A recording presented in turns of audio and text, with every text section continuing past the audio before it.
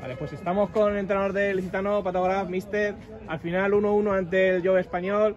Eh, bueno, ¿qué valoración haces de este partido? ¿Qué tal? Buenas.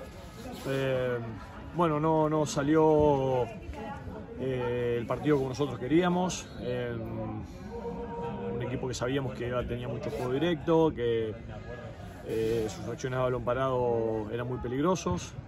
Cometimos errores de, de generar faltas en zonas cercanas a- al área y, y bueno, y así vino el primer gol de ellos. Tuvimos la fortuna o el acierto de, eh, llegar al empate pronto, porque si no se iba a poner muy difícil, y no supimos aprovechar el hombre que tuvimos de más. Eh, no generamos por banda como lo planteamos en el entretiempo también.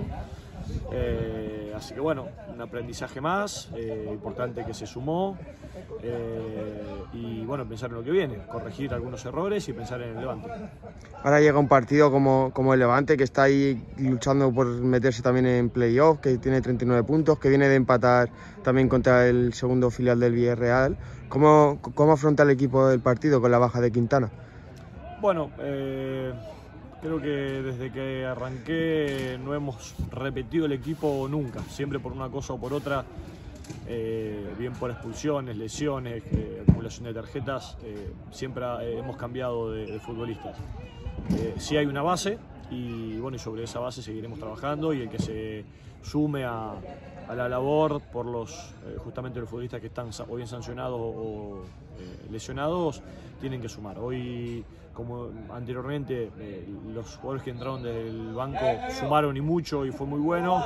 Hoy no, no hubo una notoriedad en, esa, en esos jugadores que entraron desde el banco. Así que seguir trabajando en eso. Y, y, lógicamente, bueno, al, al enfrentarnos con un filial va a, va a ser un partido sin lugar a duda con mucho ritmo. Eh, va a ser un partido planteado al ras del suelo. eh, y bueno, esperemos lógicamente quedarnos con nuestros puntos. Te voy a preguntar, Mister, el primer tiempo, sobre todo los primeros 30 minutos, eh, he visto el equipo buscando muchos desplazamientos en largo desde atrás. La verdad es que el Juve español no parecía no estar muy incómodo con esa, con esa táctica. No sé si lo habéis planteado en un inicio así o ha sido por circunstancias del partido que habéis jugado más en largo. No, no, el, el partido estaba planteado para encontrar a los laterales y que los laterales eh, encontraran a la espalda de los laterales rivales justamente a nuestros extremos. Pero no con balones aéreos, sino con todo juego raso. Pero bueno, hay momentos que el futbolista no ve el espacio, no se encuentra cómodo, el rival también te plantea cosas diferentes. Así que bueno, a corregir como dije antes y a seguir adelante. Estabas hablando que los cambios hoy no se han notado en- distinto a lo que había ya en el, en el planteamiento inicial, pero quizás había un cambio que sí que ha podido significar algo, que ha sido la salida de Adrián porque se ha tenido que marchar por un golpe en la boca. ¿Cre- ¿Crees que ha supuesto algo para no tener otro cambio disponible?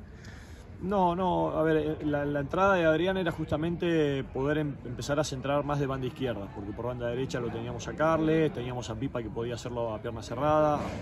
Eh, y bueno, desgraciadamente jugó no sé si cinco minutos solamente, un chico que tiene un muy buen pie, muy buen centro. Eso también posiblemente enfrió el partido. eh, no se dieron los minutos de, de alargue que se tendrían que haber dado, pero fueron muy pocos seis minutos, porque cinco minutos se dan cuando se hacen todos los cambios y se realizaron todos los cambios. Pero bueno, eh, importante, como dije, seguir creciendo como grupo, seguir creciendo desde lo futbolístico y, y bueno, y corregir errores para, para que no vuelvan a ocurrir. En la última por mi parte, Mister, bueno, hoy ha- por fin ha debutado Basilakis, el delantero que vino la, la primera vuelta, que el pobre pues en primer entrenamiento se lesionó, se tuvo que operar y tal. Hoy le hemos podido ver debutar y, y bastante bien el delantero. Bueno, tanto él como, como todos los chicos que están aquí tienen una jerarquía y un...